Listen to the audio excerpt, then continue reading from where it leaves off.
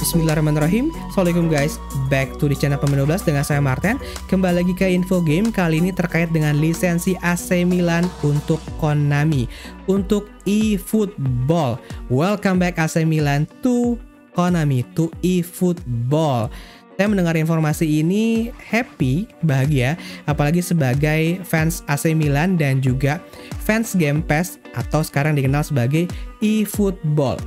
Kerjasama ini akan membuat nanti sejak Juli 2022 teman-teman Konami berhak lagi menggunakan nama AC Milan, jersey, dan juga Stadion San Siro. Setelah sebelumnya di PES 2021 dan di eFootball 2022, sampai dengan video ini dibuat, namanya masih Milano RN dan jersey-nya juga bukan jersey Milan. Dan nanti sejak pertengahan tahun, kerjasamanya akan mulai terjalin antara Milan dan juga Konami untuk eFootball. Lantas bagaimana dengan FIFA 23? Apakah logo AC Milan atau nama AC Milan akan diganti di FIFA 23? Kita akan lihat nanti juga sumbernya langsung dari sumber resmi website masing-masing. Sekarang kita lihat dulu teman-teman sumber resmi dari websitenya AC Milan di mana di sini disampaikan bahwa kerjasamanya bentuknya official training wear partner. Jadi nanti di pakaian latihan dari AC Milan akan ada logo Konami atau logo eFootball. Seperti yang saya gunakan ini teman-teman, ini jaket latihan AC Milan dan ini ori ya. Jadi nanti di jaket latihan atau mungkin di eh, jersey latihannya Milan itu akan ada logo Konami dan eFootball. Tetapi ketika di jersey pertandingan tidak ada karena kerjasamanya hanya di official training wear partner. Kita lihat informasinya di sini ya teman-teman. From 1st July, mulai dari 1 Juli, the leading gaming company will join the club Principal Partners Family akan kembali lagi bekerja sama.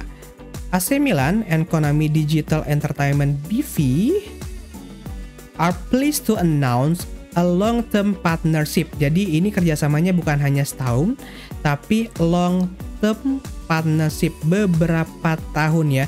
That will see Konami become the first official training wear partner in the club history and one of the Rossoneri principal partner from 1st July 2022. Kerjasama ini membuat Konami itu menjadi brand pertama yang akan ada di official training wear-nya AC Milan. Lalu bagi Konami ini pasti keuntungannya adalah kita lihat di websitenya Konami ya teman-teman. The partnership will officially come into effect in first on 1st July. Jadi sama informasinya akan mulai berlaku di 1 Juli 2022 and will allow for a set right including Milan Stadium. Jadi Konami akan mempunyai lagi hak legal access untuk menggunakan nama Stadion San Siro termasuk bentuk stadionnya bisa digunakan playing squad including full 3D facial scan, semua pemain-pemain AC Milan itu akan di scan 3D lagi, lalu akan bisa menggunakan juga lisensi dari jersey, jersey home, away, dan jersey ketiga, termasuk juga jersey untuk goalkeeper. Jadi tanpa perlu patch lagi teman-teman, Milano RN akan dihilangkan dan kembali lagi menjadi AC Milan. Kemungkinan baru akan terlaksana mungkin nanti mulai eFootball 2023 ya. Karena Konami bilang di sini, the implementation process for this right will begin starting summer of 2022. Jadi sejak tengah tahun ke depan.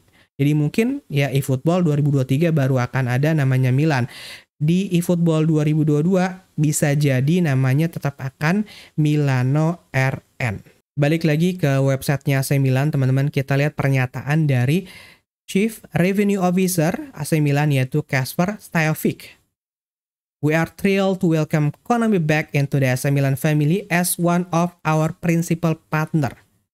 Sebagai principal partner, bukan eksklusif partnership. Dan ini sebenarnya bisa menjawab bagaimana status AC Milan nanti namanya di FIFA 23 karena bukan sebagai eksklusif partnership, tapi hanya sebagai principal partnership.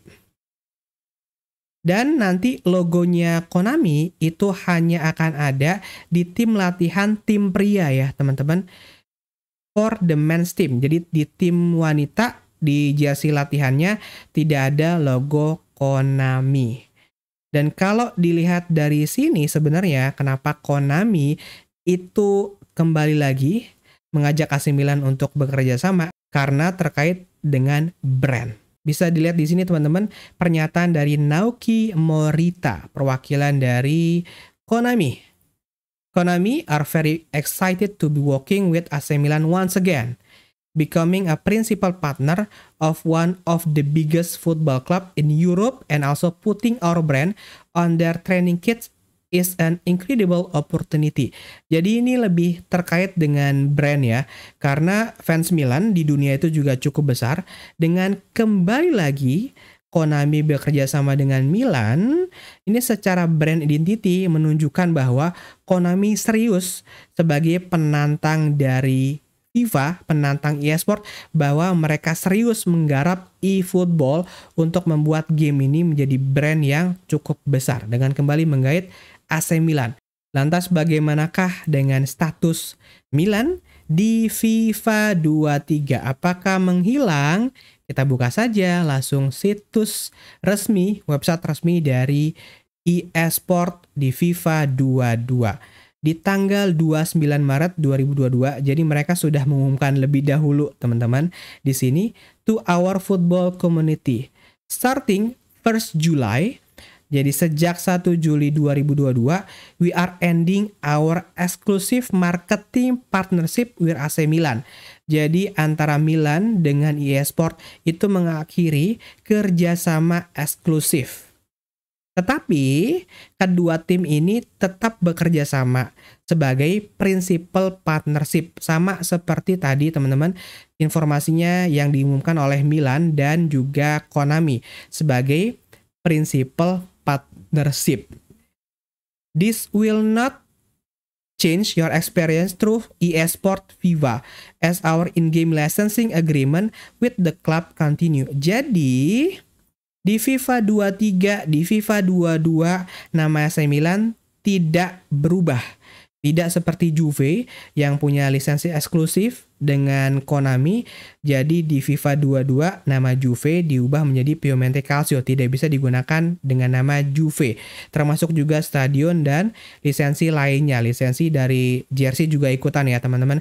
Tetapi di sini kerjasamanya agak berbeda, tetap bisa menggunakan lisensi AC Milan dan semua elemennya untuk FIFA 23 teman-teman.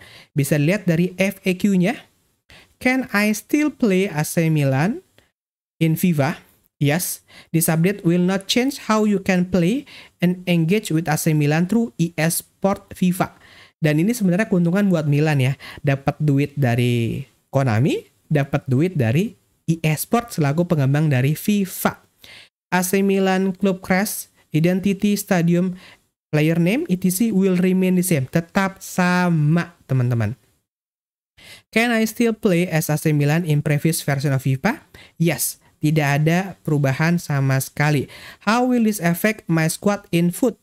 This update will not change how you can play and engage with AC Milan throughout EA Sport FIFA, including jadi bagi teman-teman Milanisti fans Milan yang suka sama FIFA, nggak perlu khawatir karena nama Milan tetap ada lisensinya di FIFA. Dan bagi fans Milan yang juga suka mainkan PES, mulai musim depan, Milan akan kembali ke Konami di eFootball 2023. Lantas, bagaimanakah dengan sang adik Inter Milan? Apakah ikutan juga bekerja sama dengan Konami? Langsung aja kita buka cepat aja ya uh, websitenya Inter.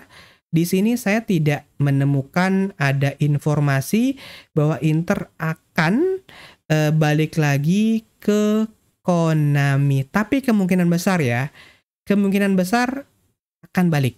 Itu kemungkinan besar kalau memang tidak kembali kerjasama antara Konami dan Inter, jadi mungkin nanti di eFootball 2023 tanpa option file ya teman-teman, tanpa patch, mungkin Inter akan jadi satu-satunya tim di Serie A yang namanya itu bukan Inter Milan. Kita lihat saja nanti teman-teman ke depannya apakah Inter juga akan bekerja sama kembali dengan Konami. Demikian teman-teman info game kali ini. Insya Allah kita ketemu lagi dengan video lainnya. Assalamualaikum warahmatullahi wabarakatuh.